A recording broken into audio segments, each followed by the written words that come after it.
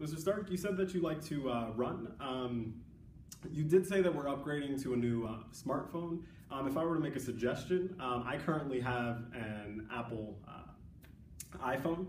Um, and with the iPhone, we do have um, smartwatches. We have Apple Watches that um, on your runs, you would be able to track your mileage, you'd be able to track how many steps you took, how many, uh, what your resting heart rate was, and what your heart rate is as you're running. You would also be able to check the time and various notifications that you did get to your phone without having to stop and pull it out. Um, you also did say that you like to, when you're traveling, you do like to go on a run in new cities and different places.